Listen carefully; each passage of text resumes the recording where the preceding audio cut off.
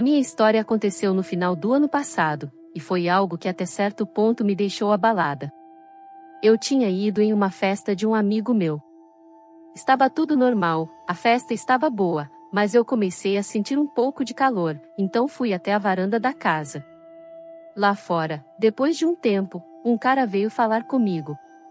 Ele não falou nenhuma baboseira e eu achei ele bonitinho, então resolvi dar uma chance para ele. Nós começamos a conversar numa boa, ele tinha um papo legal e ficamos lá conversando por um bom tempo. Nós descobrimos que tínhamos os gostos bem parecidos para música, comida, roupa, lazer.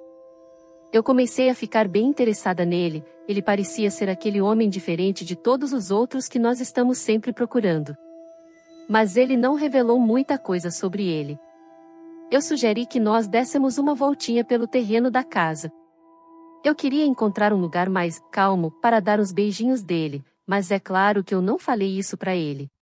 Nós começamos a andar e eu vi que a piscina estava vazia, não tinha ninguém lá então eu comecei a ir naquela direção com ele. Enquanto estávamos indo eu estava falando feito uma tagarela e ele ouvindo tudo, prestando a maior atenção. Mas quando nós chegamos perto da piscina ele começou a ficar um pouco nervoso. Ele olhava para a piscina, passava a mão no pescoço, parou de prestar um pouco de atenção no que eu estava falando. Ele realmente não estava gostando nem um pouco de ficar perto da piscina.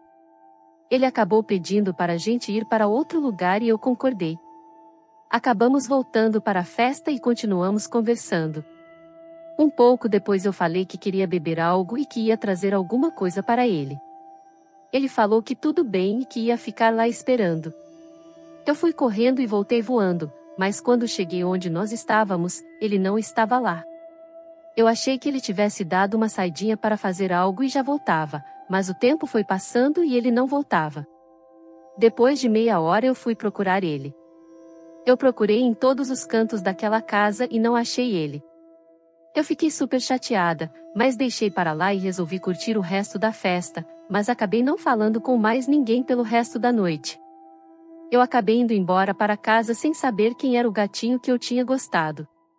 Dois dias depois eu voltei na casa desse meu amigo que tinha dado a festa, e nós estávamos conversando quando eu perguntei quem era o gatinho que eu estava falando na festa, porque eu queria falar com ele de novo. Ele falou que não tinha visto e me perguntou como era o cara. Eu descrevi como ele era e ele me mostrou umas fotos dos amigos dele que combinavam com a descrição. Eu não vi ele em nenhuma delas, então comecei a ver as outras fotos que ele tinha trazido, olhei um álbum, dois, três, até que finalmente eu soltei um berro, achei. É esse aqui.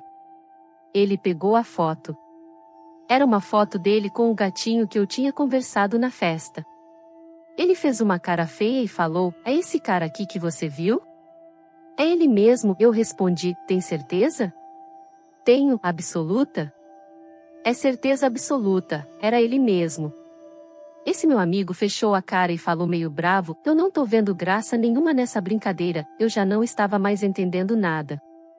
Eu olhei para ele e falei: Que brincadeira? Então ele falou: Esse é o meu primo. Faz dois anos que ele morreu afogado na piscina aqui em casa, quando ele falou isso eu fiquei completamente pálida. Eu peguei a foto e era exatamente o cara que eu estava conversando na festa. Era o primo dele. O primo morto dele. Eu fiquei tão chateada, tão triste por dentro. Não sei bem porquê, mas eu fiquei bem triste. Quando nós dois estávamos na piscina, ele devia estar nervoso porque foi lá onde ele morreu. Eu não sei por que aquilo aconteceu comigo, ou exatamente o que acontece, mas eu nunca mais vi ele, mas vou lembrar dele para sempre.